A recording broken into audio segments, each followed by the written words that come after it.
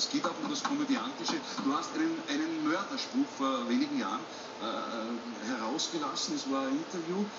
Du als Chefanalystin, war, dir war offensichtlich noch nicht klar, dass die Kamera läuft und dann sagtest du, das wird das Lausanne, Apor, Wurmkinder dabei.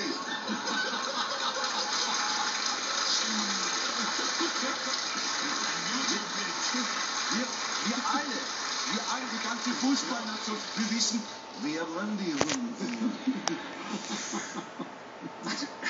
Das waren wirklich Kinder, die immer mit Papierflieger auf uns geschossen haben. Und damals war es so, dass ich nicht verbunden war mit dem Regisseur, ja. kein Vorgang gehabt, sondern nur mein damaliger Moderator, Christian Dindorfer. Der war zum ersten Mal im Einsatz und hat mir nicht gesagt, dass wir in 10 Sekunden dran sind. Dann sind wir dort gestanden, ist wieder ein Flieger gekommen, hat immer